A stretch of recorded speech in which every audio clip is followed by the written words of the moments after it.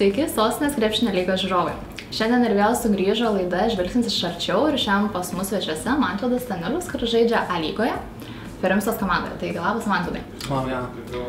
Taigi, pradėkime nuo to, kada tavo gyvenime atsirado krepšinis. Krepšinis atsirado nuo mažų dienų, turbūt kaip ir kiekvieno gyvenime, nuo darželio dar, nuo žaidimų kieme, o jau taip rimčiau pradėjau trečioje klasėje Vilniaus krepšinio mokykloje. Kas tave paskatino tenais, nu, Tai iš pradžių tėvai pasiūlė pasibandyti, pabandžiau, patiko ir taip va, iki dabar užsikabinau ir, ir žaidžiu. buvai patekęs į Lietuvos ryto jaunimo komandą. Kaip pavyko tam patekti ir ką tau tai apskritai reiškia? Na, tuo metu tai labai daug reiškia, nes vis tiek e, tuo metu tai vienas iš didesnių įvertinimų, manau, po e, jaunimo rinktinių, tai manau vienas iš tokių prestižesnių turnyrų, tai labai labai buvo laukta, tikėta ir labai smagu buvo. Nacionalinėje krepšinio lygoje pradėjai žaisti palangos komandoje, o šiuo metu žaidė mažiekių mažiekiuose. Kas nulėmė tokį sprendimą? Na, buvo sun, labai sunki vasara ties šituo, šituo klausimu, kur, kur pasirinkti toliau žaisti. Buvo įvairių pasiūlymų nacionalinių krepšinio lygių, bet taip jau gavosi, kad susidėjau prioritetus, kad reikia šiais metais pabaigti mokslus.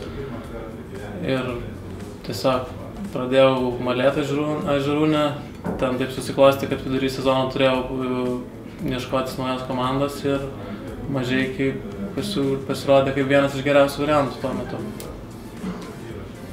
Kokie pasiekimai, e, laimėjimai krepšinio tau yra šiuo metu patys svarbiausi, kas, ką jau pasiekiai, kas buvo labiausiai gal įsimintina, sakykim taip, ką labiausiai vertina?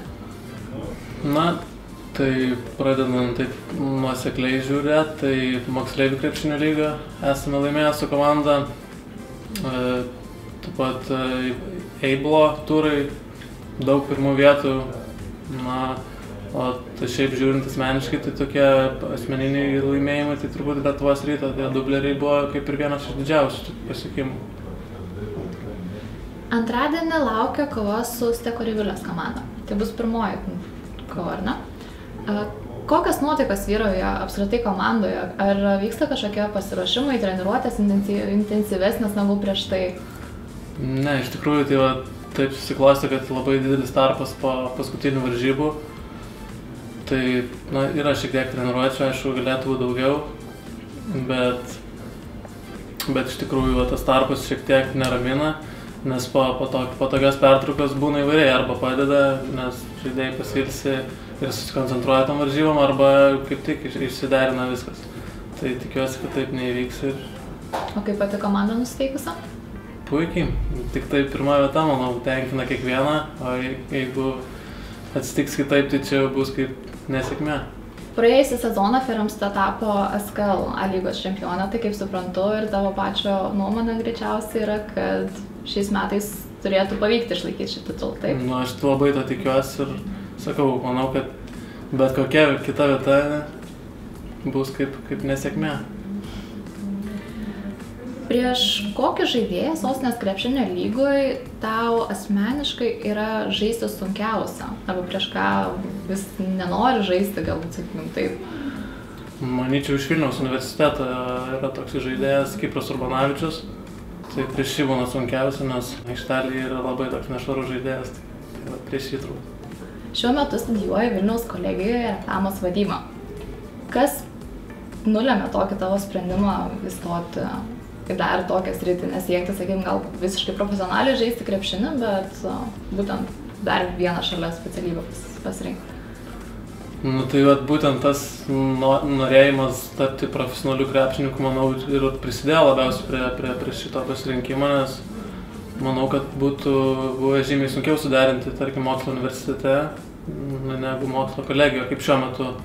Ir manau, kad šiuo metu puikiai pavyks suderinti krepšinį ir mokslus, tai manau, kad čia ir buvo tas pagrindinis. O kodėl motyvas. būtent reklamos vadyba? Tai reklamos vadybą pasirinkau, nes tiesiog iš tų visų, visų studijų programų pasirodė, kad perspekt, vienas iš perspektyviausių dalykų vis tiek reklama praktiškai visur šiais laikais yra ir taip jau gal. Aš šiaip džiaugies pasirinkimu. Nu, ką žinau, jeigu baigsiu, tai džiaugsiu. Kaip save įsivaizduoju po dešimties metų? Po dešimt metų, nu, nežinau, labai čia sunkus klausimas. Tikiuosi dar žaisti krepšinį profesionaliai, kiek įmanoma. Nu, daugiau, tai nežinau. Mėgstamiausias filmas. Mėgstamiausias filmas tai tikriausiai Pjūklo ketera. Kodėl? Na, labai įdomi filmo ta pati istorija, tai vadinama.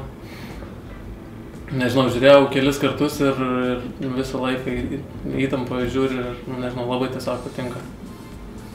Jei galėtum turėti vieną supergalę, kokia ji būtų?